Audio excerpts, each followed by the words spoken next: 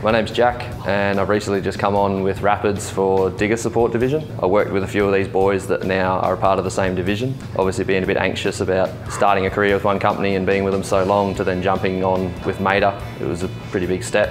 The team is just so easy to deal with. Like if I've ever had a problem or a drama, like I can literally call anyone in the Rapids team and the drama either gets sorted with right there on the phone or within a couple of hours maximum, not having to worry about some of the other machinery, even being within Rapids. It's just really cool being able to pick what you want to work on and still be passionate about it. So working with uh, some of the boys that are already in the uh, digger support division, I've worked with them previously at other sites and just already being on the same level as the other guys. You know your mates are already thinking about doing the exact same thing with a fault or a breakdown or something. Like the boys are good to work with. There's there's never any problems with personalities because we're all there for one thing. Like it's just easy working with those boys. They're just easy to get along with.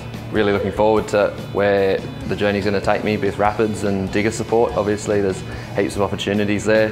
Um, within the business, even if I wanted to move around or go international, like that's been made very clear to me, heaps of chances to move around throughout the business, coordinators, yeah, job role changes, it's just, yeah, pretty cool.